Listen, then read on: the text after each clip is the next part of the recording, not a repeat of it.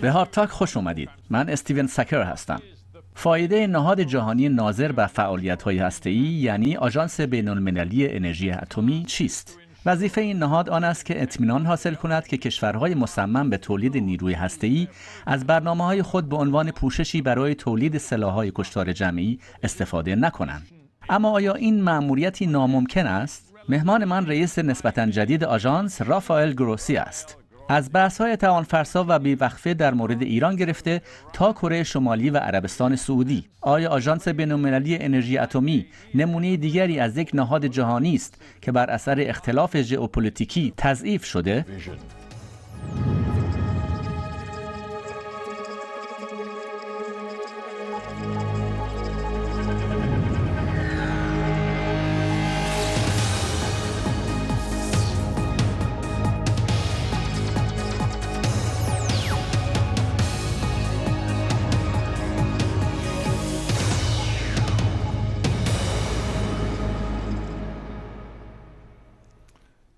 آقای رافائل گروسی در وین به هارتاک خوش آمدید.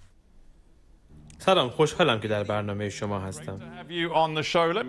ما هم خوشحالیم که شما مهمان ما هستید. بذارید با سوالی شروع کنم که مربوط میشه به انتصاب نسبتا اخیر شما. چقدر اهمیت داره که شما رو تحت سلطه هیچ کشوری ندونن و کاملا مستقل به شمار بیارن؟ خب به نظرم این ضروریه.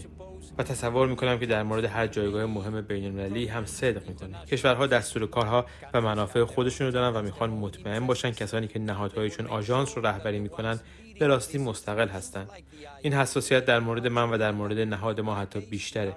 چون برخلاف دیگر سازمان های بین المللی ما بازرس هستیم. ما نهاد نظارتی بر برنامه های هستیم. بله قطعا همینطوره. به همین دلیل نمی‌دونم که وقتی معلوم شد در فرایند انتخاب مدیر آژانس آمریکا داشته اندکی اعمال نفوذ می‌کرده تا شما انتخاب بشید این به نفعتون بوده یا نبوده؟ و شما هم که انتخاب شدید و بر نامزد دیگه که رومانیایی بود پیروز شدید. آمریکا داشت به وضوع به نفع شما لابیگری می‌کرد. آیا این مسئله اثر معکوس نداشت و به شما لطمه نزد؟ نه به هیچ وجه. باید بگم که فقط آمریکا هم نبود. بسیاری از کشورهای دیگه هم بودن. من نتیجه بسیار رضایت بخش دو سوم آرا رو و حتی بیشتر رو به دست آوردم. 24 کشور از 35 کشور به من رأی دادن. بنابراین یه پیروزی خوب و کافی و وافی بود.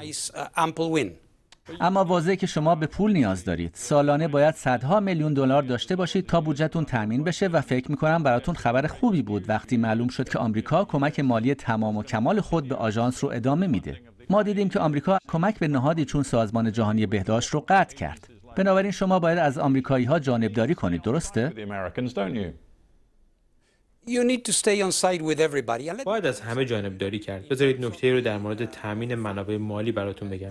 می‌دونید بحث تامین منابع مالی نهادهای بین المللی موضوعی مورد مناقشه بوده. صحبت امروز هم نیست. مقاطع و دوره هایی بوده که کشورها شیوه برخوردشون با سازمان های بین المللی گوناگون رو از نوع ارزیابی کردند. در مورد آژانس چون این نهاد نقش ضروری به عهده داره ما همواره از حمایت های بسیاری برخوردار بودیم. نه فقط از جانب آمریکا بلکه از طرف بسیاری از کشورها. در دنیا 442 راکتور هسته‌ای و مواد هسته‌ای فراوانی وجود داره و یه نفر باید باشه و نظارت کنه. تا همونطور که شما در مقدمه برنامه گفتید این مواد هسته‌ای در مسیر غلط به کار گرفته نشن. علت اینکه این پرسش ها رو در مورد استقلال شما و رابطتون با آمریکا می‌پرسم اینه که اوایل امسال وقتی شما مسئولیت رو به عهده گرفتید این موضوع بسیار چشمگیر بود که انگار فشارها بر تهران تشدید و بیشتر شده بود و عزمی در کار بود که اطلاعاتی رو که گویا از منابع اسرائیلی فاش شده بود به کار ببرن تا به طرف ایرانی بگن که اگر در مورد فعالیت های بعضی از تأسیساتشون و همینطور برنامه هاشون شفافیت بسیار بیشتری نداشته باشن شما خیلی سختگیرانه با اونا برخورد خواهید کرد. آیا قبول دارید که در مقام رهبری آژانس رویکرد تازه در قبال ایران در پیش گرفتید؟ من در کل روی کرده تازه ای رو در پیش گرفتم. اما اینو بگم که وقتی به این موضوع می‌پردازیم باید به یاد داشته باشیم که موضوع ایران به قول ترانه بیتل ها راهی دراز و پرپیچ و خم بوده. ما در این راه فراز و نشیب هایی رو سپری کردیم. و موضوعی که پیشینه دست کم 20 ساله داره تا به وضعیت فعلیش رسیده. بنابراین طبیعیه که در این مورد زمانهای ناخوشایند داشته باشیم. مواقعی که اختلاف نظرها بروز می‌کنه و واقعیت اینه که امسال ما به قولی به مشکل برخوردیم. من چند هفته پیش در تهران بودم و تونستم موضوع رو حل کنم. بنابراین به نظرم میشه گفت روال یک دستی در کار نیست و بالا و پایین داره. در حال حاضر اما داریم خوب کار می‌کنیم.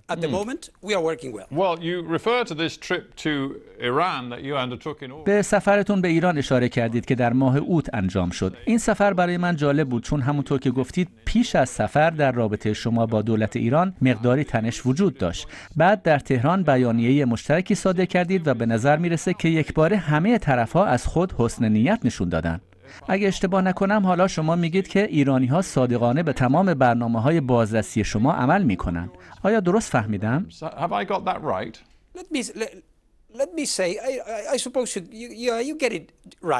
بله فکر می کنم در مجموع درست متوجه شدید. به نظر من تلاش در راه منع گسترش سلاحهای هسته‌ای تلاشی مداومه.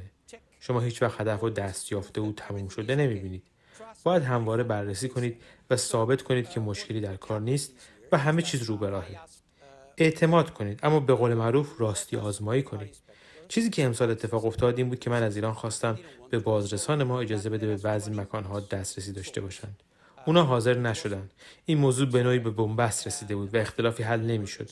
فکر می کنم کسانی نگران بودند که شاید این موضوع به اختلافها و بحثها بر سر ایران دامن بزنه.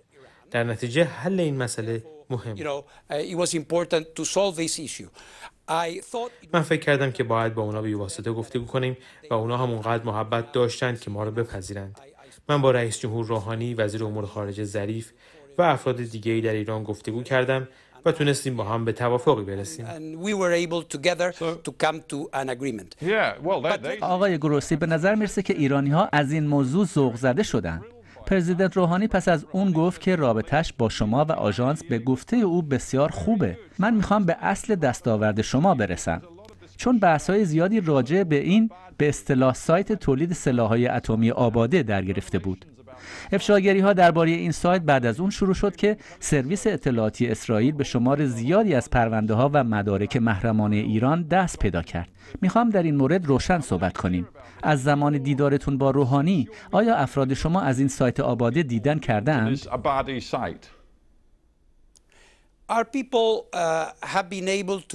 افراد ما تونستند فعالیت های بازرسی خودشون رو از سر بگیرن. ما تونستیم از یه مکان بازدید کنیم. من نام و مشخصات مکان رو ذکر نمی کنم چون اطلاعات محرمانه ایه. اما تونستیم از یه محل دیدن کنیم و قرار ظرف چند روز آینده از مکان دومی هم بازدید کنیم. اما بذارید بگم که از جنبه دستاورد سفر ما سفر مهمی بود ولی پایان کار نبود. می‌دونید ما نمی‌خوایم بزرگ نمایی کنیم. چیزی که به دست آوردیم این بود که به فعالیت های عادی برگشتیم که باید داشته باشیم. می‌دونید مثل این بود که جریان برق قطع شده و حالا با برگشتنش چراغها دوباره روشن شدن و ما می‌تونیم فضا رو ببینیم. اینطور نیست که مثلا ما در گذشته در دوزخ بودیم و حالا وارد بهش شدیم. بذارید اینطور بگم که دوباره با هم کار می‌کنیم.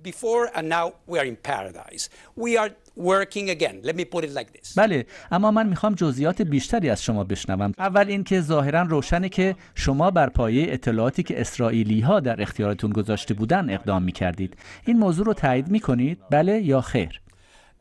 No, I cannot confirm because of the following. We have lots of information. We have information. خیر نمی‌تونم تایید کنم به این دلیلی که الان میگم. ما اطلاعات فراوانی داریم. اطلاعاتی داریم که از بازرسان خودمون گردآوری می‌کنیم. اطلاعاتی داریم که کشورها به ما میدن و اطلاعاتی داریم که از افراد سالس به دست میاریم. از بازیگران دیگه. شما دارید کمی اجازه بدید. چون این مهمه. ما هیچ وقت بر اساس اطلاعاتی که دریافت می‌کنیم عمل نمی کنیم اینطور نیست که چیزی رو همونطور که به ما گفته شده بپذیریم و بر اساس اون اقدام کنیم. ما گروهی بزرگ از کارشناسان داریم که در فناوری و در زمینه های گوناگون کارآزموده هستند. ما اطلاعات رو بررسی و قربال می‌کنیم تحلیل می‌کنیم. از زوایای گوناگون میسنجیم و با اطلاعات قبلی مقایسه می‌کنیم و فقط وقتی که باور داشته باشیم موضوعی ارزش بررسی و کاوش بیشتر داره که در مورد ایران در این زمینه همینطور بود عمل می‌کنیم وگرنه ما خروارها اطلاعات دیگه داریم که مبنای هیچ اقدامی قرار نمی‌گیرن شما یه دیپلمات آرژانتینی کارکشته اید و در این مسابقه هم دارید نشون می‌دید که دیپلماتی کاربلد هستید سعی می‌کنم باشم اما واقعیت اینه که شما اطلاعات عمده ای رو از اسرائیل دریافت کردید. بله اطلاعات عمده ای رو از اسرائیل گرفتید. واضحه که این رو در ارزیابی کلیتون لحاظ کردید. البته به من نمیگید که آیا آباده از سایت هایی بوده که از اونا دیدن کردید یا نه. اما راستش کم و بیش روشنه که جزو اونا بوده. فقط می‌خوام اینو به من بگید که آیا الان ایران در سطحی با شما همکاری می‌کنه که پیش از این و از زمان امضای توافق برجام در سال 2015 به بعد ندیده باشید؟ آیا همکاری تهران با شما حالا در سطحی هست که حاضر باشید قبول کنید با گذشته فرق داره؟ من از همکاری در سطحی که بهش نیاز دارم برخوردارم همونطور که شما گفتید در این کار نسبتا جدید هستم از ماه دسامبر. اما در ژانویه با مشکلی مواجه شدم و ناگزیر بودم که حلش کنم. حالا در سطحی از همکاری برخوردارم که بازرسان ما اجازه میده کارشون رو انجام بدن. حالا باید ببینیم از اینجا به بعد چی میشه. تصویر کلی از غذایا کمی گنگ و پیچیده است و این ناشی از اختلافات عمیق ژئوپلیتیکی بر سر ایرانه. آمریکا و اسرائیل درباره رویدادها یه دیدگاه دارند و کشورهای دیگه دیدگاهی بسیار متفاوت. با این حساب شما که برای من از استقلال رأی خودتون گفتید شاید بتونید بعضی ابهامات رو روشن کنید آیا به عقیده شما امروز ایران در مقایسه با شروع به کار دولت دونالد ترامپ در ژانویه 2017 به ساخت سلاح اتمی نزدیکتر شده یا از اون دورتره؟ In January 2017, این سوال رو نمیشه با یه بله یا خیر پاسخ داد و توضیح میدم? چرا نمیشه؟ Um. چون استیون ما با مقیاس های سنجش متفاوتی سر و کار داریم. اگه مقیاس شما این باشه که اونا چه مقدار مواد هسته‌ای در این مورد اورانیوم در اختیار دارن شاید به این نتیجه برسی که اونا حالا مواد بیشتری دارن. البته نه در مقایسه با شروع به کار دولت ترامپ بلکه در مقایسه با زمانی که این دولت تصمیم گرفت از توافق خارج بشه یعنی در ماه مارس 2018 The agreement, which was only in March 2018. Since then, از اون زمان به بعد ایران برای مقابله به مثل تصمیم گرفت به نوبه خود از تعهداتش کم کنه و شروع کرد به غنیسازی بیشتر. اما چیزی که موضوع رو پیچیده تر می‌کنه اینه که وقتی شما این مقدار رو مقایسه می‌کنید با میزان اورانیوم غنی شده ای که اونا در مرحله امضای برجام یا همون توافق هسته‌ای داشتند می‌بینید که این مقدار به مراتب کمتره. بنابراین گاهی این مقیاس ها ممکنه افراد رو سردرگم و گیج کنه. چیزی که من می‌تونم به شما بگم اینه که ما هستیم تا تایید و کنترل کنیم که ایران به سلاح هسته‌ای دست پیدا نمی‌کنه. check that Iran does not get a nuclear weapon. تا اونجا که من می‌دونم و بر اساس چیزی که به من گفتید و گزارش هایی که منتشر کردید ایران در حال حاضر ده برابر میزانی که بر اساس معیارهای بین‌المللی مجاز است اورانیوم غنی شده داره. نه نه این دقیق نیست. کاملا ده برابر نیست و مقداری کمتره. حالا ما بر سر 8 یا 9 یا 10 برابر بودنش دعوا نداریم. واقعیت اینه که مقدار اورانیوم غنی شده ای که در اختیار دارن بسیار بیشتر از حد مجازه. شما هم دارید در واکنش به این موضوع میخندید اما بذارید بهتون بگم کیا نمیخندن. اسرائیلی ها نمیخندن. دولت دونالد ترامپ نمیخنده. اونا میگن در پی این تغییر ضرورت داره که قدرت‌های اروپایی از باقی مانده برجام همون توافق بین‌المللی خارج بشن و از آمریکا پیروی کنن و تحریم‌های جدید و سختگیرانه ای رو علیه ایران وضع کنن. شما در وین در آژانس بین‌المللی انرژی اتمی هستید و لابد باید در این زمینه نقطه نظرهایی داشته باشید. اینکه حق با کی هست و با کی نیست. باید اینو بدونید که ما بخشی از این معاهده نیستیم. ما بخشی از این ساز و کار یا توافق و قول و قرار نیستیم. دقیقا به همین دلیله که من علاقمندم پاسخ شما رو بدونم چون شما در این جنگ و دعوا زینف نیستید. اما می‌تونید به من بگید که آیا اروپایی ها درسته. دقیقا به همین دلیله که ما راستی آزمایی می‌کنیم. و وقتی اونا به ما اجازه نمیدن که کارمون رو انجام بدیم ما این موضوع رو به گوش همه میرسونیم و درخواست می‌کنیم دسترسی لازم رو به ما بدن. تا نذاریم وضعیتی به وجود بیاد که برگشت ناپذیر باشه. اما پرسش من هنوز بی جواب مونده. وقتی شما با این استدلال روبرو باشید که آنچه ایرانی ها طی چند سال اخیر انجام دادهاند از جمله اقداماتی است که باید جامعه جهانی رو متقاعد کنه که به پیروی از آمریکا تحریم های سختگیرانه رو از نو برقرار کنند. پاسخ شما به این حرف چیه؟ نظرتون چیه؟ نظر ما در این مورد حتمی و ضروریه چون به دنیا میگیم که در ایران چه میگذره. اما اساسا نظر شما چی است؟ با توجه به چیزهایی که در ایران می‌بینید آیا فکر می‌کنید که تنها راه برخورد با داشتن اورانیوم غنی شده و کاری که ایرانی ها می‌کنن اینه که اعلام کنیم توافق برجام از میان رفته و ما تحریم های گسترده تر و سختگیرانه بین المللی وضع خواهیم کرد؟ That's not up for me to say. Frankly speaking, راستش بخواید من در موقعیتی نیستم که به این سال پاسخ بدم من برمیگردم به اون اظهار نظر اول شما من باید و این خصوصیتی ضروری که باید حفظش کنم باید بیطرف باشم. همونطور که وقتی به این مقام رسیدم به ایرانی ها و دنیا گفتم من در قبال اونا قاطع اما منصف خواهم بود. بنابراین نمی‌تونم حالا جانبداری سیاسی کنم و بگم برجام خوبه یا بده تحریم ها باشن یا نباشن. کار ما اینه که یه ارزیابی فنی بیطرفانه ارائه بدیم که در نهایت به اون قدرت های جهانی که شما نام بردید این امکان بده که تصمیم های درست بگیرن. World powers that you are mentioning to come to the right decisions. بله ولی آقای گروسی می‌دونید چیه؟ این بحث جالبیه چون دقیقا اشاره داره به اینکه آیا مؤسسات چند جانبه ای مثل آژانس شما می‌تونن در جهان قرن 21 کارایی داشته باشن؟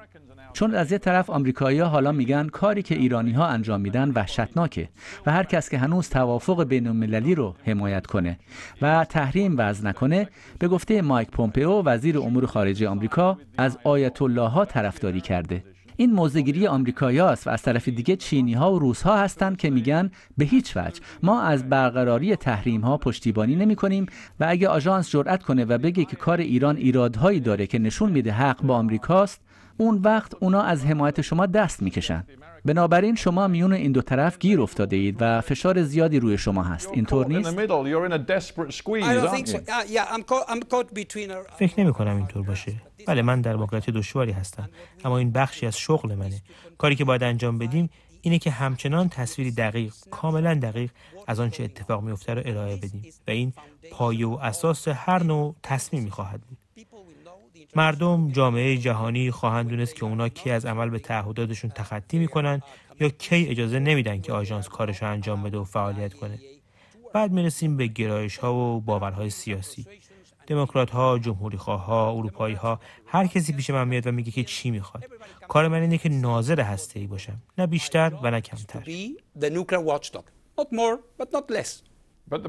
اما مشکل اینه که همه طرفها وسوسه میشن که اعتبار شما رو تضعیف کنن و در نتیجه واقعا هیچ کس همیشه همینطوره. البته که همیشه همینطوره. گاهی بذارید از امسال بگم چون مثال تمام عیار جالبی از اون چه اتفاق میفته. در ابتدای سال وقتی دسترسی به این مکانها برای من فراهم نمی‌شد من این موضوع رو به آژانس گزارش کردم. گفتند که من کلانتر هستم و خیلی چیزای دیگه. پس جدی برخورد کردم حالا با اونا به توافقی رسیدم و خود شما به من میگید که روحانی گفته ما بهترین رابطه ممکن رو با آژانس داریم. پس می‌بینید من به این چیزا عادت دارم. فکر می‌کنم این چیزا عادیه. و گرچه این حرف تناقض‌آمیز به نظر میاد باید بگم نوعی نشانه خوب هم هست. نشانه این که ما داریم کاری را انجام میدیم که باید انجام بدیم. بسیار خوب بذارید از موضع ایران بگذریم چون مشکلات بزرگ دیگری هم پیش روی شما هست. بیایید خیلی کوتاه به کره شمالی بپردازیم.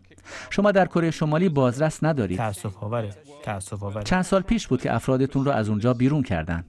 اما دونالد ترامپ این فرایند دیپلماتیک رو با کره شمالی ها دنبال کرده و گویا بر این باوره که این فرایند ممکنه در نهایت به خلع سلاح هسته‌ای کره شمالی منجر بشه. آیا شما چنین چیزی رو باور دارید؟ خیلی عقیده دارن که این یه خیال خامه.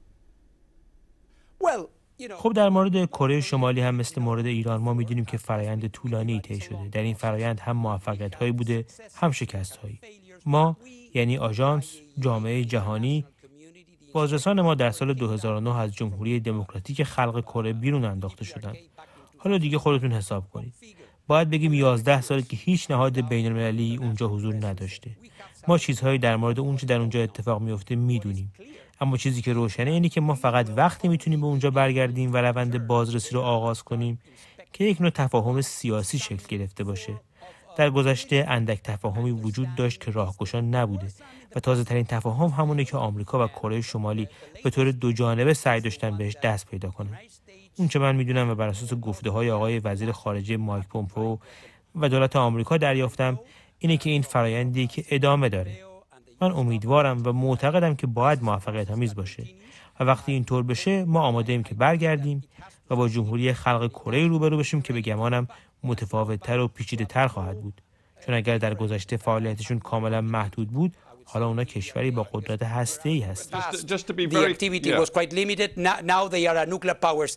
بله به طور حتم اینطوره. آیا تصاویر ماهواری شما و تحقیقات دیگری که بیرون از کره در این زمینه انجام داده اید نشون میده که کره ها همچنان با سرسختی برنامه های تسلیحاتی خودش رو دنبال می‌کنن و در تلاش هستند تا سلاح های پیچیده تری تولید کنند و رفتاری از این قبیل بله بله. بسیار خوب ممنونم. یه سوال کوتاه دیگه. کشور دیگری که مطرح عربستان سعودیه. سرمایه گذاری سعودی ها در گسترش برنامه هسته ایشون تا چه حد برای شما نگران کننده است؟ حالا هم که به دنبال کمک چین هستند و از کمک های چین و سیان بهره می‌برند آیا این موضوع شما رو نگران می‌کنه؟ چون بعضی ها معتقدند این بسیار نگران کننده است خب بله ببینید در مطبوعات گمان زنی های مطرح بود. واقعیت اینه که باز هم میگم ما مسائل رو اونطور که هستن بیان می‌کنیم. نه بر پایه گمان زنی ها واقعیت اینه که پادشاهی عربستان فعالیت هسته‌ای بسیار محدودی داره. بسیار محدود. اونا مقداری فعالیت های تحقیقاتی انجام دادن و حالا یک راکتور تحقیقاتی کم قدرت خریدن که بسیار کوچکه و حتی هنوز در اختیارشون قرار نگرفته. مقالاتی در مطبوعات نوشته شده که فکر می‌کنم اشاره شما به همونا باشه. حاکی از اینکه عربستان احتمالا در زمینه استخراج اورانیوم با کشورهای دیگه همکاری هایی داشته. ما هیچ سرنخ و گواه محکمی مبنی بر درستی این موضوع در دست نداریم. ما با عربستان سعودی در گفتگو هستیم تا اطمینان حاصل کنیم که وقتی اونا برنامه هسته ایشون رو ارتقا میدن برنامه که همونطور که گفتم هنوز در مراحل جنینیه ما بتونیم فعالیت های نظارتی خودمون رو در اونجا داشته باشیم. بنابراین من مشخصا نگران نیستم اما پیگیرانه موضوع رو دنبال می‌کنم.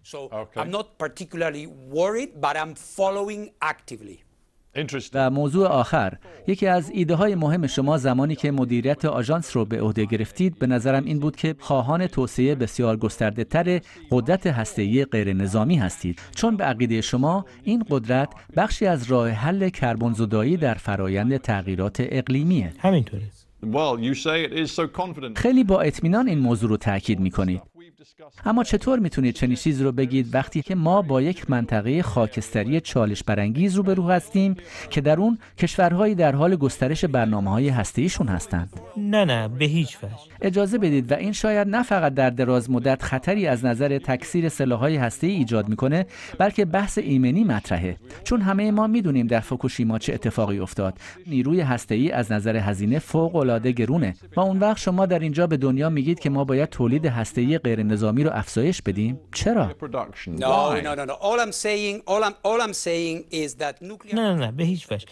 همه حرف من اینه که نیروی هسته‌ای رو هم باید به حساب آورد. روشنه که بسیاری از کشورها 31 کشور از جمله بریتانیا و خیلی های دیگه از نیروی هسته‌ای برخوردارن. و این هم روشنه که ما از نظر تغییرات اقلیمی با چالش بزرگی روبرو هستیم. بنابراین اگه بگیم منبعی از انرژی که عمدتا پاکه و ما رو از انتشار دو گیگاتون کربن در سال بینیاز می‌کنه در موقعیت مجموع برنامه همون برای کربن زدایی از اقتصاد جایی نداره خطای فنی مرتکب شدیم. کشورها خودشون می‌تونن تصمیم بگیرن که این رو می‌خوان یا خیر. آژانس بینالمللی انرژی اتمی هم هست تا این اطمینان حاصل بشه که وقتی از این ماده هسته‌ای برای تولید برق درمان بیماران و بهبود زندگی بسیاری استفاده میشه بهره برداری از اون به شکل درستی صورت بگیره. بسیار خوب. رافائل گروسی صحبت با شما بسیار مختنم بود. ممنونم که در هارتاک مهمان من بودید. خواهش می‌کنم. باعث خوشحالی منه که در این برنامه حضور داشتم.